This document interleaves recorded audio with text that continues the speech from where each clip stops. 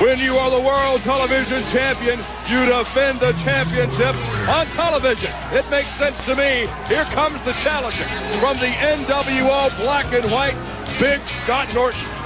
Well, it really is tough to dispute that fact. Yes, here is the challenger. He is aligned with the NWO Black and White, but he was not a part of that recent NWO Black and White Battle Royal. Scott Norton was over in Japan when Stevie Ray won the Battle Royal on Nitro, and as a result, Stevie Ray is the boss of the Black and White. Well, Scott Norton seems to have an uneasy adjustment to Stevie Ray being in charge of the NWO Black and White. When we come back, the champ, Booker T, is in the house.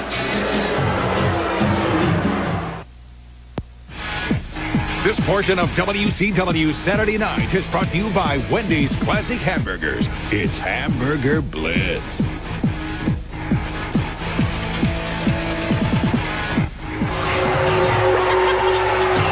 Loosen the bolts on the Superstation. We're going to raise the roof on Saturday nights. Here comes the TV champ. What a fighting champion he has been and continues to be. Booker T is in the house.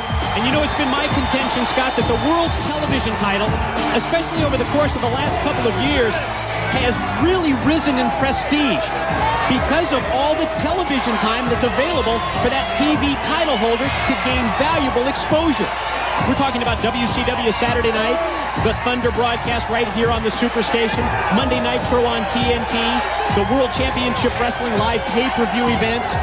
The world's TV title has really gained in stature in the last couple of years. Let's not forget also the syndicated WCW Worldwide program, and WCW is an international in scope wrestling promotion. We're in I don't know how many countries, well over 100 countries worldwide. So when we say the World Television Championship, we mean it. And Scott Norton, this may be the stiffest challenge of Booker T's reign as TV champ. Well, you would think so. You look back through the list of challengers, and there has been some awfully tough competition for Booker T. But how many really title opportunities has Big Scott Norton had through the years? If you think about it, not all that many. So this is a chance for Scott Norton to step up to the plate and possibly walk out of here with the world's television title around his waist. Scott Norton, the former IWGP heavyweight champion in Japan, but has been title free in WCW. You make a great point. Over in Japan, he's vying for the world's heavyweight title of the New Japan Pro Wrestling Organization. Yet in World Championship Wrestling, this is among the first of his title opportunities. Well, do you blame the champions in WCW? He is the, one of the toughest Whoa! guys in the world. Look at that slam from Booker T. He got the 300-pounder up. Clothesline. Once again, can he get him down?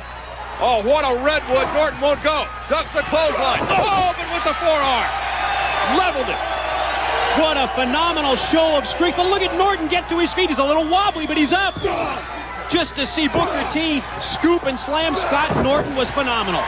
Scott Norton may not have had many title shots over the last four years in WCW, but has had two this week.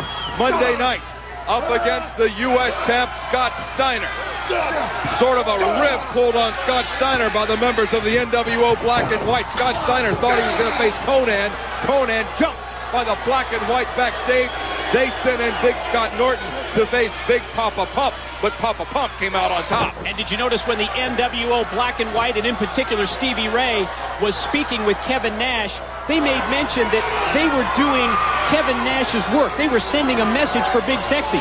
But when Kevin Nash arrived on the scene, he said that he had nothing to do with that attack on Konnan. So again, there are problems internally among the NWO factions and even realistically among the Wolfpac because Big Papa Pump Scott Steiner feels that Kevin Nash is the man that got his title shot. And that's speaking about the World's Championship match that Kevin Nash will have upcoming at Slamboree, brought to you by 1010-220. That's an excellent point. We talk so often about the problems between the black and the white and the red and the black factions of the NWO. There are problems within each faction.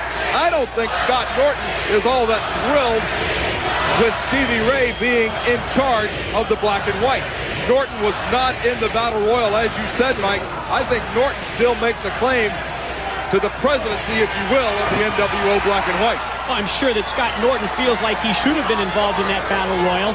Obviously, he was wrestling over in Japan at the time and wasn't able to compete with the other NWO black and white members. And in the corner, he just sandwiched Booker T, 300 plus pounds that just crashed into the TV champ. We may be on the verge of a new television champion. Scott Norton not a happy man in general, and definitely not happy about what went down Monday on Nitro, is taking it out on the TV champ. Booker T is hurt. Oh, man!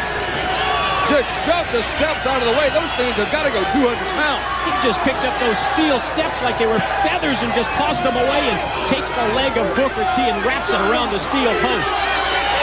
Oh, man, one more time. Booker T when have we seen Booker T just manhandled like this? That knee of Booker T is very fragile oh, also. Look out, steel chair now. Oh, come on. No, not. That, whoa, is that? That, is that, is that Stevie? it is Stevie Ray, of all people. The leader of the black and white is going jaw to jaw with Scott Norton. Well, the first question is, why would he stop Scott Norton? But then you have to think, that's Stevie Ray's brother, Booker T, that Scott Norton was just going to walk into that chair. Well, blood is thicker than black and white. And Stevie Ray just came to the rescue of his brother Booker T, but Booker T is still injured. Stevie Ray told Scott Norton, Beat him on your own. Don't use the chair. And look at Norton doing just that chopping the champion back into the ropes. Well, we have just witnessed another prime example of what we spoke about earlier, that bad blood, that friction among black and white members, and Booker T fights back. Uh-oh, off the rope with the axe kick. Oh, but oh, look at that. Booker T landed on that left knee there is some damage done to the left knee of the world's television champion, and don't think Norton won't take advantage. I'm sure that in the heat of the match, Booker T didn't even consider that when he delivered that axe kick, that when he came down that he would uh, land with all of his weight on the previously injured knee. Can Norton take advantage? He's got the opening now. Ooh. Big back body drop from Scott Norton, but look at Booker T, the champion. A little break dance back to the vertical base. Standing side kick. Took Norton all the way over the top to the ringside area. Oh, and hang on, Stevie Ray. You stole my match. You without a duck, can't you? I won't do it. I told Hogan he was off limit. Whoa, problems within the NWO black and white between Scott Norton and Stevie Ray. Is it over? Scott Norton walked away. He sacrificed the match.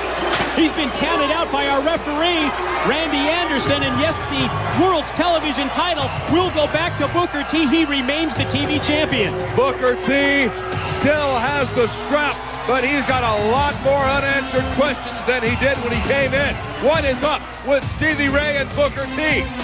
What will happen within the NWO black and white? What will happen between the Wolfpac and the black and white?